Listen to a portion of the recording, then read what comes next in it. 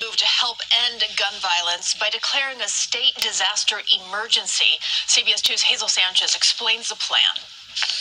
As people were out enjoying a sunny July 4th in the Hunts Point section of the Bronx, a man casually walked along Hunts Point Avenue and opened fire on a 34 year old man, the shooting adding to a disturbing increase in gun violence in New York City. I want to go on vacation because of gun violence every day. We went from one epidemic to another epidemic. We went from COVID to the epidemic of gun violence.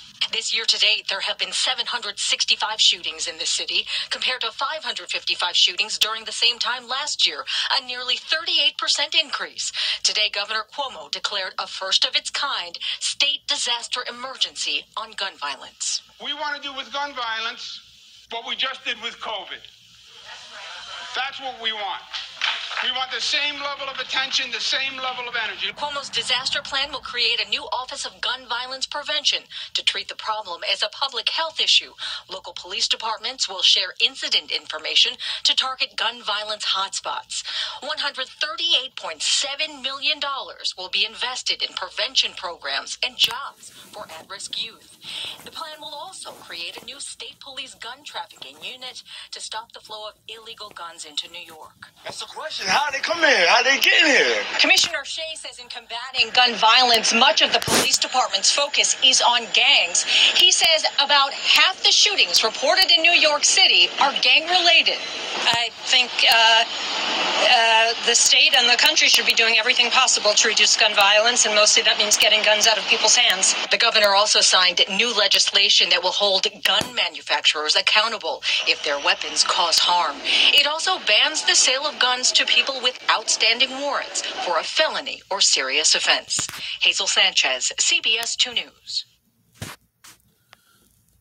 Call hello Yahweh Bahashim, Yahweh Shai Bahashim, Rakah Kodash. This is Brother Ahrayah. This is a quick cut right here. You know, Governor Andrew Cuomo declares gun violence disaster emergency, man. And this is directed primarily at Jake, man. Okay, you saw the video that they showed of the Jake uh shooting the other uh Jake in the back, man. Okay? So Esau is definitely, you know, gonna come in like a flood, man. You know? He's definitely gonna come in like a flood. And uh yeah, man, things are move things are moving, things are uh things are, you know, stirring up, man. Most High stirring the pot right now, man. You know, he's putting the seasonings in. He's getting everything ready. He's preparing everything, man. You know, slowly but surely, but every day, something new is happening. Something new is occurring every day. And this is big right here, man. Uh, gun violence has been something that's been running rampant in New York for years now. But now, all of a sudden, he wants to declare a gun violence disaster emergency in 2021, man. You know, these devils is, I'm telling you, they know they got but a short time, man. So they trying to do all that they can while they're still while they're still in power. You know, and this this just shows you that right here, man. You know, out of all these years, out of all these uh gun violence incidents, now is the time that they do this. And they said they're gonna treat it like they treated COVID. So you're gonna see, you know, maybe a lot of shootouts with cops, a lot of a lot of uh, Jakes getting arrested. You know, they're gonna be targeting gangs and things like that. And you know what? Rightfully so, man, because I've never been into guns, man. I never owned a gun. You know, never tried, never bought a gun, never even shot a gun before, man. I was always taught that guns were for chumps, man. You know, guns were for dudes that that was scared, man. So I never really I never dealt with guns, man. Like I said, I never even shot a gun before. You know, I'm 41 now. I've never shot a gun in my life, man. That's just been that's never been in me, man. It's something that I never, you know, really dealt with. I never really dealt with weaponry, period, man. Or knives or swords or nunchucks or slingshots or none of that, man. I never dealt with any of those things, man. Um, yeah, for my, you know, for the most part, I've been a, you know, pretty peaceful person my whole life, man. For the most part. But anyway, like I said, I'm not gonna make this long. I'm gonna go into a couple of scriptures. Okay. Hold on. Bear with me. All right, I'm going to go to Jeremiah 30 and 7. And reads, Alas, for that day is great, so that none is like it. It is even the time of Jacob's trouble, but he shall be saved out of it. You know, in Jacob's, tr- Jacob's trouble, Salakia, is fastly approaching, man. And they're not just going to do this. If they're going to do this in New York, they're going to be doing this in every major city in America, man.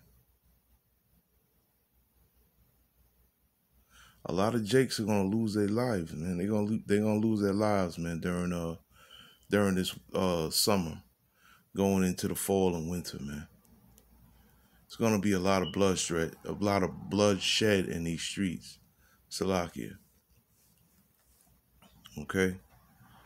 All right, I'm gonna go. uh I just got a couple of scriptures, man. Not much. All right. Yeah, man, these jakes are wicked, man. This is John 8 and 44. Ye are of your father the devil, and the lust of your father ye will do. He was a murderer from the beginning, and abode not in the truth, because there is no truth in him. When he speaketh a lie, he speaketh of his own, for he is a liar and the father of it, man. Right? And all these jakes out here, they want to tote guns and want to uh, kill people, you know, shoot people. Uh, you know, you you are of your father, the devil, man. Cause that's who you trying to emulate and imitate, your father. Okay, because the blessing of the sword and weaponry was given to Esau, man. Uh, pursuant to uh, Genesis 27 uh, 27th chapter, 40th verse, man. You know, ye are of your father the devil, man. And the lust of your father ye will do. He was a murderer from the beginning and abode not in the truth because there's no truth in him, man. And that's who you guys are imitating, man. This is where you guys got your got your ways from. Okay? wicked, wicked Jakes, man. It's gonna be a real bad time if you for all these wicked Jakes out here doing wickedness, man. You know, the devil is about to rain down on you, man. And it's all through the power of the Heavenly Father, Yahweh, by Hashem Yahweh Shai, man.